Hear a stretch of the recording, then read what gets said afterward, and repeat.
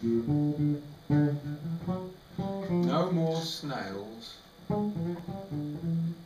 The jaw of James Augustus Joyce protruded like a stone Easter Island head, stoic and puffing a little while the leeches were removed from his eye. Joyce's knee poked through the strange zip on his trousers, reaching right down to his left ankle.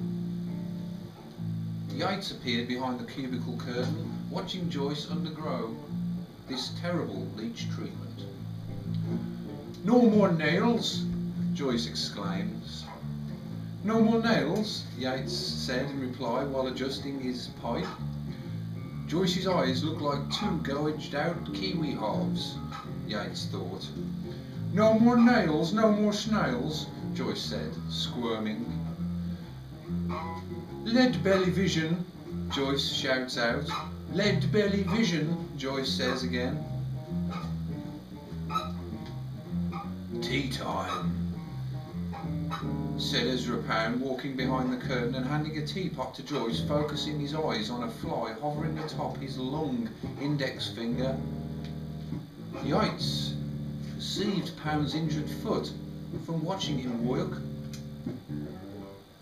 That's a hip hop you have there, Ez, Yeats said. Where's Pound? Yeats inquired. Joyce starts to spread no more nails on his trouser zipper. Pull yourself together, Jim, Yeats said. How close together do you see my zipper experiment, Billy? Joyce said, with a broad smile curved down at the edges like a rubber plant. Joyce squeezed the no more nails juice onto his own head while Yeats watched his legs tremble beneath him. His left knee knocked into his right leg and he rebalanced his head that had been tilted to the side. His face was like that of Moses parting the oceans.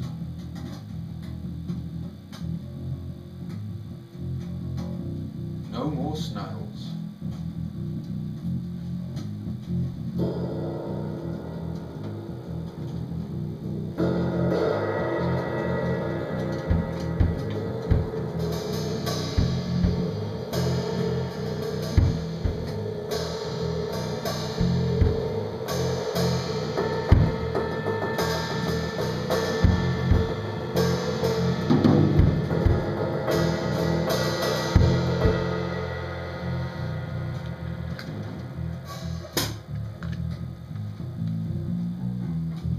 no more snails.